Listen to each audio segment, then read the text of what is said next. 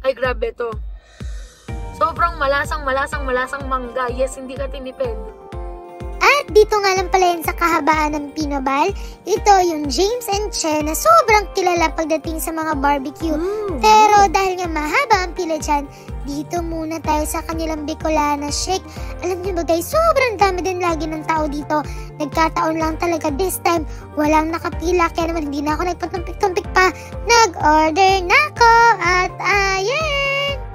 nga pala yung Bicolana sa fresh and powdered fruit shake na tignan nyo naman guys sa halagang 50 pesos. Sobrang dami ng mangga na nilalagay nila at yes, dalawang mangga ang nilalagay nila sa isang order.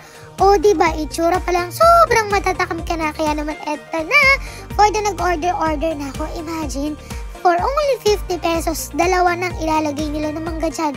Ibig sabihin, hindi ka talaga tinipid sa mga ingredients. Plus, 1 cup of milk. Ay grabe, sobrang perfect nito. Mm, Siyempre, hindi kumpleto ang shake pag wala ang ating ice. So, eto na. Ilalagay na yung ice natin at promise, sobrang excited na ako dyan. Hmm, approve din kaya sa atin ang shake nila? Tara na, i-shake na yan.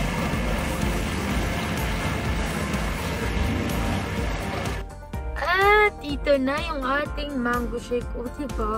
Itsura pa lang. Parang hindi ka na talaga tinipid. Imagine mo, 50 pesos lang to ha. Pero yung ginamit nila ng fresh mango is dalawang buo. Diba, sulit na sulit. At ang best part dito, Hello Kitty.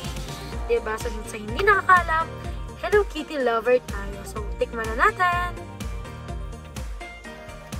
Ay, grabe to. Sobrang malasang, malasang, malasang mangga. Yes, hindi ka tinipid.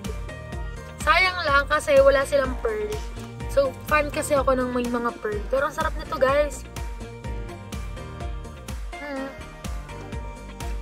Hindi siya matamis, hindi siya maasim. Alam mo yung naglalaban yung tamis at asim. Perfect to. Yeah. Buti na lang napadaan tayo doon at nakita ko na walang bumibili. Kasi alam niyo ba, tuwing dadaan ako doon, sobrang haba ng pila. So, buti na lang na-try natin yung shake nila na must try. So, ano pa iniintay nyo? I-try na rin to. So, ayan lang for today. Bye!